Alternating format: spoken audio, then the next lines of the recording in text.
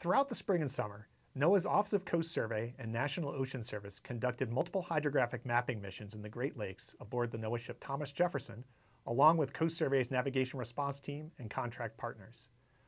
Although NOAA has a significant presence in the Great Lakes, this was the first time a NOAA hydrographic ship was deployed to the region since the early 1990s.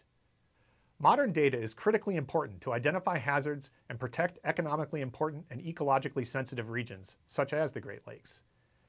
These missions successfully provided modern data to the scientific and benthic mapping communities, as well as contributed to updating marine navigation products and services.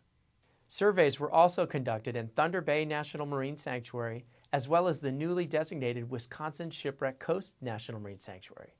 These missions generated high quality data benefiting sanctuary management by providing a better understanding of the cultural and natural features present in these underwater parks. The data collected will update navigational charts and create habitat maps and related products in cooperation with NOAA's National Centers for Coastal and Ocean Sciences and other partners.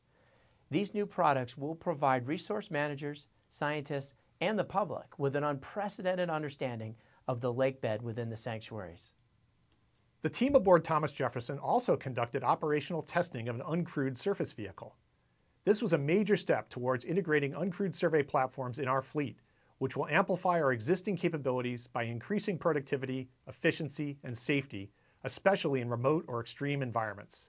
Overall, NOAA's 2022 Great Lakes Hydrographic Surveying Campaign was a tremendous success, resulting in 1,380 square nautical miles of Lake Michigan, Lake Huron, and Lake Erie surveyed. We appreciate the efforts and contributions of everyone who supported this important work. And a special thanks to NOAA's Office of Marine and Aviation Operations and the NOAA Corps officers and mariners aboard Thomas Jefferson that made this mission possible. Thank you.